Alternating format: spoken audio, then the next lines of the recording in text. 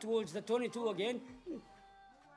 And he come back again. Juggernaut still in position. Good run from the Juggernaut's players. And he comes back inside. Short ball back up again. He finds Coney Goa. Goa held on to the ball and puts down here, almost stripped of the ball, but he held on back in a rock and pushes the ball back inside from Mac Marupi. And Marupi picked up the ball and Marupi will run straight. He will score underneath the uprights for the RCL Juggernauts on five. Conversion successful there by Juggernauts to seven. Razorbacks regathers the ball in possession 22 meters away. And Razorbacks comes out straight now. Opportunity for them to get away 40, 30 meters away now towards the halfway. Pass looks forward here, but they let go. Go up straight down. They loses the ball again.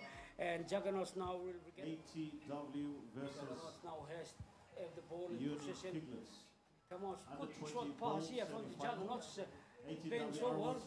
Leading by Piglets. seven points That is to the next Razorbacks. Uh, yet to Thank score. you. Tall Uri Player from uh, Northern Province in the Euro, and that's the son, ATW and he's one of the top centers. Under and 20 played and played in Australia in Canberra, and also came up here. So he's one of the good uh, uh, 15th player and of the Defence Force. You know, teams like the underdogs and the Number 13 is uh, Paul Douglas. And he come back again, Mark Rakatani. Rakatani puts the pass back to Anton Kulit. And Kulit and he comes back to uh, um, Tubal. And Tubal goes into score for the Razorbacks as they head out to 12 points to 7. And it's really important that they maintain that because, you know, even though Juggernauts is a smaller team, they're willing defenders. Young Rex Peragua is taking the conversion kick, son of uh, Joe Peragua, one of the former referees and top referees in Port Moresby Rugby League or PNG Rugby League. And that's his son got the conversion kick, kicks like his daddy and gets it in. We had a player down here and the match is still on. 7-14 Juggernauts Australian, Razorbacks on 14 leading and Juggernauts will have an opportunity to score to level it up here on 12 points and Eka has gone in to score for the Juggernauts. So it's 12 points to 14. It's a ball game here. And Size is made up with their time. fitness. So they're obviously a, a smaller, Kick a is team. successful. Razorbacks again from uh, Paul Douglas. Comes back to Tubal. Tubal short ball back out to finds uh, Tukuit, uh, Tu- Kulit, sorry. Kulit and Kulit goes into touch. That's uh, the full time, ball game full time here. And it's a golden over, point time, change 14 over. points all, changing the over, ends. As they come up straight now, they got the opportunity on the left edge. It comes back out.